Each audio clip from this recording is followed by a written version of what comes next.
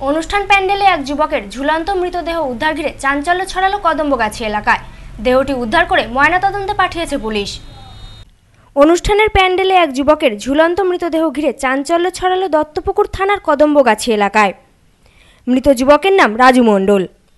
জানা গেছে, এলাকায় গত তিন দিন ধরে ধর্মীয় অনুষ্ঠান হচ্ছিল। সোমবার অনুষ্ঠান শেষ হয়।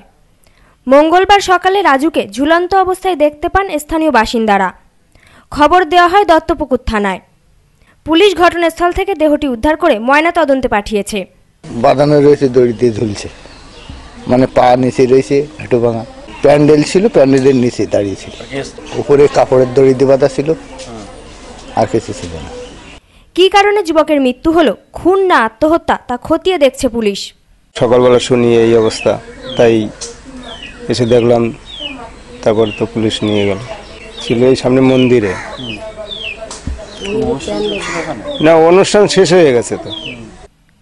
Bureau report, news no man's land Duttapukur.